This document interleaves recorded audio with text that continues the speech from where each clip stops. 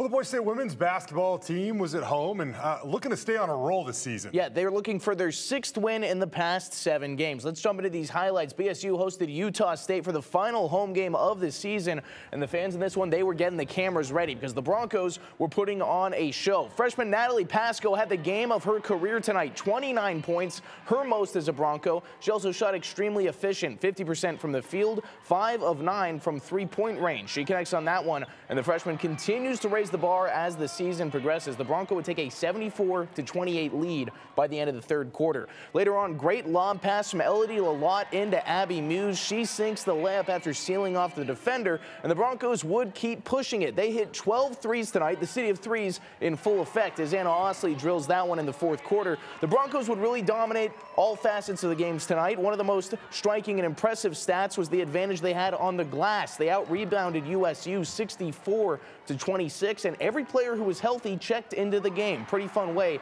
to spend your last time at Extra Mile Arena this year. The Broncos would cruise to an 89 to 41 win. That's the most they have won in a Mountain West game since joining the conference. Impressive stuff as the team is peaking at just the right time.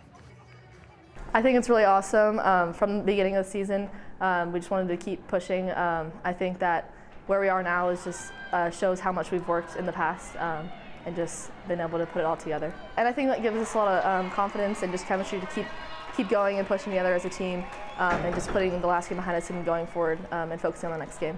Our kids did a good job, uh, you know, last home game and they were excited and uh, we've kind of rode that momentum a little bit and so they've done a, a, really nice job. I'm really proud of them. They're fun to coach, they're fun to come to work to see them and uh, great job.